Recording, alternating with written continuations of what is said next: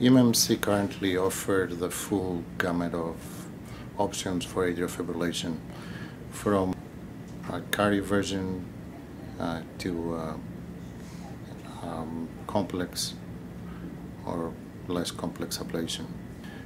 Uh, the options of atrial fibrillation ablation, whether this is traditional or hybrid. Um, atrial fibrillation um, presents in different forms and shapes, if you wish, um, and people have different symptoms. And given the fact that there is no absolute cure for atrial fibrillation at this point, we have to tailor therapy on based on patient symptoms.